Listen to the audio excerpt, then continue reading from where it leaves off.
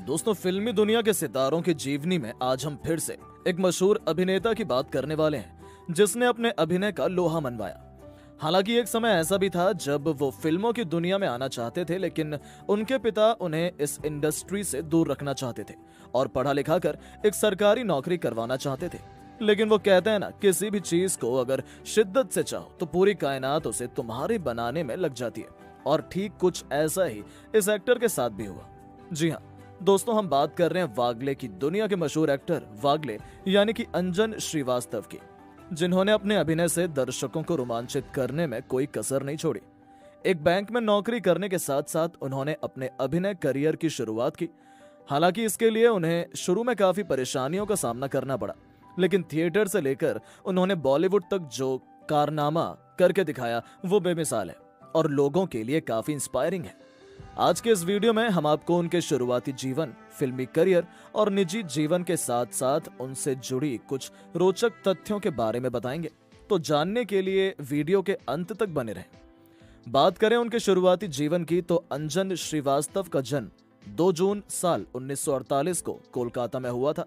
हालाँकि उनके माता पिता उत्तर प्रदेश के निवासी थे, लेकिन कोलकाता में जाकर शिफ्ट हो गए। अंजन का पालन पोषण कोलकाता में ही हुआ और उन्होंने अपनी शुरुआती पढ़ाई भी वहीं से पूरी की।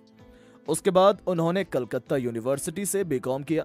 इतना ही नहीं, उन्होंने आगे चलकर एलएलबी भी की। उन्हें शुरू से ही फिल्मी दुनिया में काफ़ी इंटरेस्ट था और बड़ा होकर वो एक एक्टर भी बनना चाहते थे। लेकिन चाहते हुए भी वो एक्टिंग की दुनिया में नहीं जा पा रहे थे, क्योंकि उनके पिता उन्हें बैंक में एक बैंकर बनाना चाहते थे। हालाँकि उनकी माँ उन्हें इस बात के लिए हमेशा से सपोर्ट करती थी कि उनका जो मन करे वही करें। लेकिन पिता की आज्ञा का पालन करना उन्होंने अपना फ़र्ज़ समझा और अलाहाबाद बैंक में नौकरी करने लगे। नौकरी करते हुए उन्होंने अपनी एलएलबी की पढ़ाई भी जारी रखी। दोस्तों, पिता के कहने पर उन्होंने नौकरी तो शुरू कर दी, लेकिन उनका मन बिल्कुल भी नहीं लग रहा था। इसलिए उन्होंने अपने पिता से जिद की और इसी बीच साल 1976 में उनकी बहन की मृत्यु हो गई। जिनके बारे में हम वीडियो के अंत में बात करेंगे। बहरहाल, जब उनकी बहन की मृत्यु हुई तो उसके बाद उनके पिता ने उन्हें एक्टिंग में करियर बनाने और मुंबई जाने की इजाज़त दे दी। लेकिन इस शर्त पर कि उन्हें तीन महीने के भीतर कुछ ना कुछ करना पड़ेगा, इस तरह मरी हुई बहन ने उन्हें उनके सपनों को पूरा करने में मदद की। हालाँकि तीन महीने के अल्टीमेटम के बाद भी उन्हें कहीं काम नहीं मिला और उन्होंने अलाहाबाद बैंक में अपने ट्रांसफ़र की अर्जी डाली। जी हाँ वो चाहते थे कि उनका ट्रांसफ़र मुंबई के ब्रांच में हो जाए। खैर, इस काम में करीब छह महीने का समय बीत गया और उन्हें मुंबई में खाने पीने की दिक्कत भी होने लगी। लेकिन किसी तरह उन्होंने अपने संघर्षों के दिन को काटा और फिर अपने अभिनय करियर की शुरुआत की। जी हाँ वो साल उन्नीस सौ उनासी में पहली बार किसी बॉलीवुड फ़िल्म में नज़र आए, जिसका शीर्षक था गोलमाल। दोस्तों, आपकी जानकारी के लिए बता दें कि जब वो कोलकाता में बैंक में काम कर रहे थे, तभी से वो बंगाली रंगमंच से जुड़ गए थे। उनका पहला नाटक कायाकल्प था, जो साल उन्नीस सौ सड़सठ में परफॉर्म किया गया था।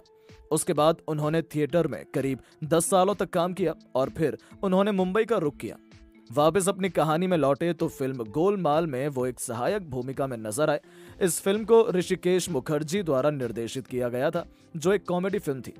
इस फ़िल्म में कई कलाकारों ने अपनी अहम भूमिका निभाई, जिसमें उत्पल दत्त, अमोल पालेकर, बिंदिया गोस्वामी, डेविड देवेन वर्मा और दीना पाठक जैसे कलाकार शामिल थे। वहीं अंजन श्रीवास्तव ने इसमें इंस्पेक्टर की सहायक भूमिका निभाई थी। इसके अलावा भी कई अन्य कलाकारों ने इस फ़िल्म में अभिनय किया था। बॉक्स ऑफ़िस पर रिलीज़ होने के बाद इस फ़िल्म को दर्शकों द्वारा अच्छा खासा प्यार मिला। बहरहाल, अपनी पहली फ़िल्म के बाद उन्हें उनकी दूसरी फ़िल्म में भी काम करने का मौका मिला। जिसका शीर्षक था, सजाए मौत, जिसे विधु विनोद चोपड़ा द्वारा निर्देशित और निर्मित किया गया था। ये फ़िल्म साल 1981 में रिलीज़ हुई थी, जिसमें नसीरुद्दीन शाह मुख्य भूमिका में नज़र आए और उनके साथ राधा सलूजा भी नज़र आए। वहीं पर अंजन श्रीवास्तव, उदय के लॉयर की सहायक भूमिका में नज़र आए। फ़िल्म तो रिलीज़ हुई, लेकिन ये अधिक कमाई करने में सफल नहीं हो पाई। जी हाँ उसके बाद उन्हें उसी साल 1981 में उनकी तीसरी बॉलीवुड फ़िल्म में अभिनय करने का मौका मिला। उनकी तीसरी फ़िल्म का शीर्षक था कालिया। ये एक एक्शन थ्रिलर फ़िल्म थी, जिसे टीनू आनंद द्वारा निर्देशित किया गया था। इस फ़िल्म में अमिताभ बच्चन, परवीन बॉबी और आशा पारेख जैसे कलाकार मुख्य भूमिका में नज़र आए। और इसके अलावा कई अन्य सहायक कलाकारों ने इसमें अपना अहम योगदान दिया, जिसमें कादर खान, प्राण, अमजद खान, पूर्णिमा के एन सिंह, मुराद और सुधीर जैसे कलाकार शामिल थे। वहीं पर अंजन श्रीवास्तव ने इसमें एक कांस्टेबल की भूमिका निभाई थी। हालाँकि वो इस फ़िल्म में बेहद ही छोटी सी भूमिका में नज़र आए। बहरहाल, बॉक्स ऑफ़िस पर रिलीज़ होने के बाद फ़िल्म को दर्शकों से एक औसत प्यार मिला और ये एवरेज कमाई ही कर पाई।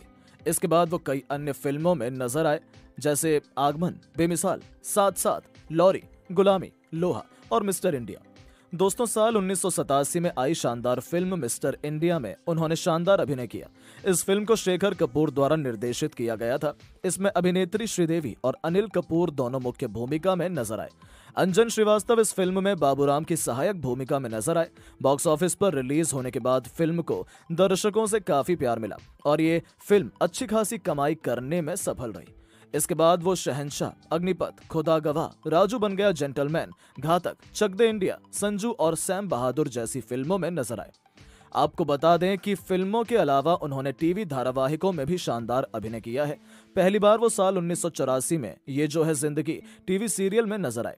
उसके बाद उन्होंने नुक्कड़, भारत एक खोज, वागले की दुनिया, नया नुक्कड़, वो रहने वाली महलों की और संविधान जैसी टीवी सीरियलों में नज़र आए। साल 1988 से लेकर 1990 तक, उन्होंने वागले की दुनिया में वागले की भूमिका में शानदार अभिनय किया और उनका यह किरदार इतना अधिक लोकप्रिय हुआ कि आज भी उन्हें इसी किरदार के लिए जाना जाता है। जी हाँ आपने बिल्कुल सही सुना। आज भी वो वागले के नाम से फ़ेमस है। उन्होंने अपने अभिनय से इसके अलावा भी कई टीवी धारावाहिकों और फ़िल्मों में अभिनय किया और दर्शकों को रोमांचित किया। आपको बता दें कि आज भी वो अभिनय की दुनिया में एक्टिव हैं और लोगों को एंटरटेन करते रहते हैं। दोस्तों, बात करें उनके निजी जीवन की तो वो शादीशुदा हैं और उनकी पत्नी का नाम मधु श्रीवास्तव है। वहीं पर उनके तीन बच्चे हैं, जिनमें से एक बेटा और दो बेटियाँ हैं। बेटे का नाम अभिषेक श्रीवास्तव, जबकि बेटियों का नाम नुपुर और रंजना श्रीवास्तव है। उनकी बेटी नुपुर शादीशुदा हैं और उनके पति का नाम संदीप है। अंजन श्रीवास्तव अक्सर सोशल मीडिया पर अपने परिवार की तस्वीरें साझा करते रहते हैं।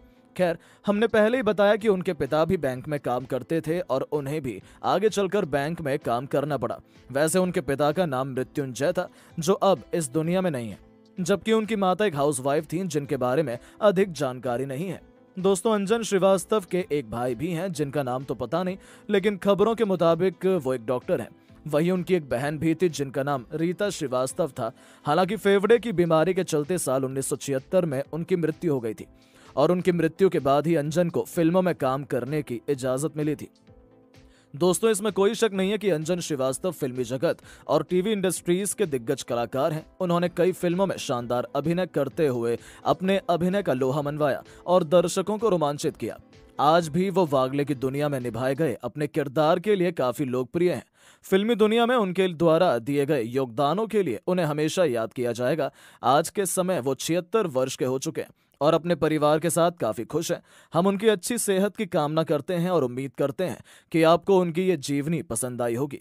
अगर आप उन्हें और उनकी अदाकारी को पसंद करते हैं तो वीडियो को लाइक ज़रूर करें। और ऐसे ही अनसुनी जीवनी के बारे में जानने के लिए हमारे इस चैनल को सब्सक्राइब ज़रूर करें। धन्यवाद।